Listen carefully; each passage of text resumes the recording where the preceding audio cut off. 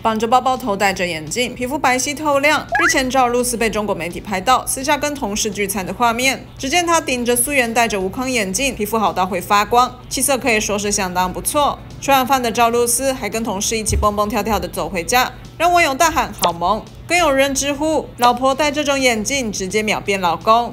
今日赵露思正忙着拍摄新戏《许我耀眼》，还没开播就已经吸引大量粉丝关注。昨天网络上还有剧照流出，只见她穿着黑色贴身礼服，好身材一览无遗。没想到有眼尖的网友发现，赵露思身上穿着的是精品品牌春夏高定服饰，让网友惊呼：很少见到拍剧穿高定的。更有人吐槽，凭什么她能在剧里穿高定？可见赵露思一举一动都备受关注。